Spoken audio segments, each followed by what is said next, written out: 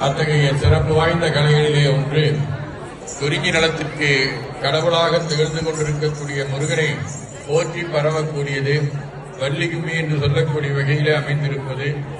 அது மற்ற இடங்களை விட குறிப்பாக கொங்கு நாட்டிலே இந்த கும்மி மிகச் சிறப்பான முறையிலே இடம்பெற்றிருக்கின்றது பொதுவாக தை மாசத்திலே முருகப்பெருமானை போற்றி பரவக்கூடிய இந்த நல்ல கும்மியை இவ்வளவு பெருந்திரளாக ஐநூறுக்கும் மேற்பட்ட அன்பர்கள் ஒரே அரங்கத்திலே இருந்து நெறிப்படுத்திக் கொள்ளக்கூடிய வகையிலே நம்முடைய சண்முக சுந்தரமண்ணா அவர்கள் அருமையான முறையிலே ஏற்பாடு செய்திருக்கின்றார்கள். இதற்குண்டான பாராட்டுக்களை அவர்களுக்கு தெரிவித்துக் கொள்கின்றோம். இந்த கலைகளின் மூலமாக பல்வேறு வகையான நன்மைகள் நாம் இவ்வளவு நேரம் கையை அனுப்பி கையை தட்டி நாம் எல்லாம் ஆடுகின்ற போது பல்வேறு எழுபத்தி இரண்டாயிரம் நரம்புகள் வேலை செய்கின்றன. அது ஒரு உடல் சம்பந்தமா இருக்கக்கூடிய நன்மை.